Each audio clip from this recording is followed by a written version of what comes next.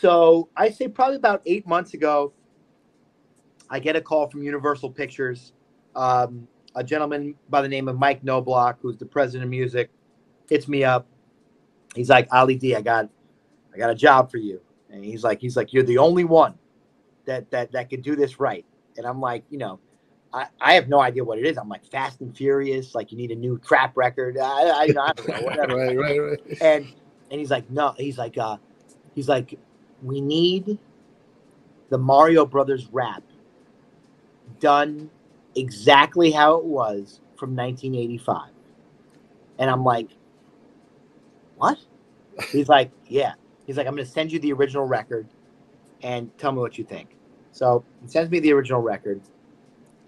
I actually remember the record, um, which is insane also.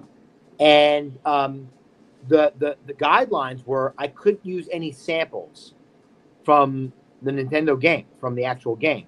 That you I had could, to recreate. or you couldn't use it. I could not. Okay. No, because uh, I guess rights issues or whatever.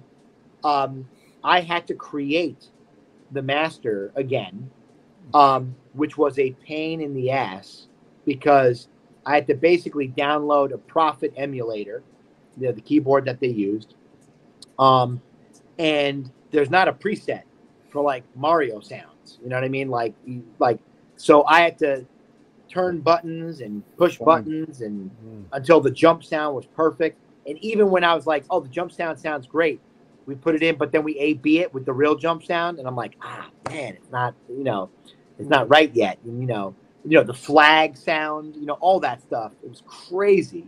Um, then it came down to doing the rap, and that was nuts. I mean, I did it like, I don't even know how many times I did it. I did it probably like 15 times before it got approved, and um, it was wild because even if you memorize a rap and and you know you, you go in the booth and you're performing it you know there are nuances that aren't going to be necessarily the same as like what you're emulating right, Right, you know right. you know you might hold out a word too long or the Mhm. cadence might be slightly different or you might rush a line or be behind the beat or whatever.